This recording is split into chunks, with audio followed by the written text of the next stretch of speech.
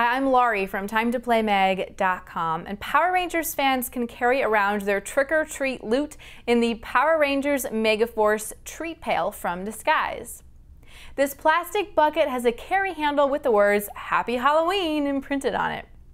And the Power Rangers image around the bucket has a lenticular design that makes it seem like the image is moving and changing when viewed from different angles. This is a great trick-or-treating accessory for Power Rangers fans ages 3 and up. It makes it easy for kids to carry around their candy and they'll like the cool changing image on the bucket.